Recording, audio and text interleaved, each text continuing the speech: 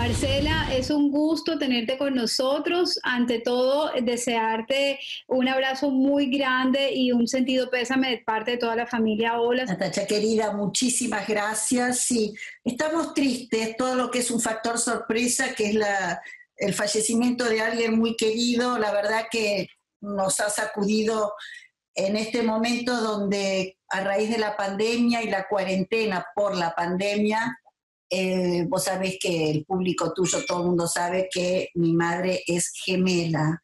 En la gemela se produce una simbiosis muy especial y no poder despedirla, no poder ver para creer, porque no lo podíamos creer, es muy doloroso, es dolorosísimo. Mira, acabo de terminar de hacer mi programa Las Rubias y realmente lo dije al principio del programa, lo hablé con el corazón.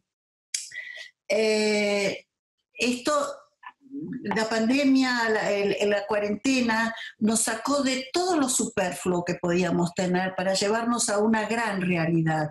Pero esta realidad no te la esperás, no, te la imaginás. Y cuido mucho de, mi mamá, que es gemela y que en siete meses perdió dos hermanos. Eran tres hermanos reunidos. Y la verdad que cuando ella me dice, no sé cómo voy a seguir, yo le digo solo una frase, mamá, perdiste un hijo. Ya con eso. Vas a salir adelante, vas a salir adelante. Pero es muy reciente, esto fue el viernes recién, primero de mayo, así que, qué sé yo, estamos todos sacudidos porque mi tía Goldi, o Goldi, era un personaje que ella se había retirado del mundo artístico hace mucho tiempo. Y fue, era como, a ver, no sé cómo definirla, como un gurú en la familia, porque era la que hablaba en todas las fiestas, somos muy familiares.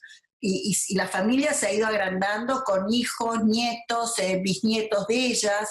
Entonces, este, todo era ella, bueno, va a hablar tía Goldi, silencio, y que nadie habla ni nadie la contradiga. Tenía siempre una frase, era una gran lectora, muy linda frase, se refería a, por qué estábamos reunidos y siempre recordaba a, a los miembros de la familia que no estaban.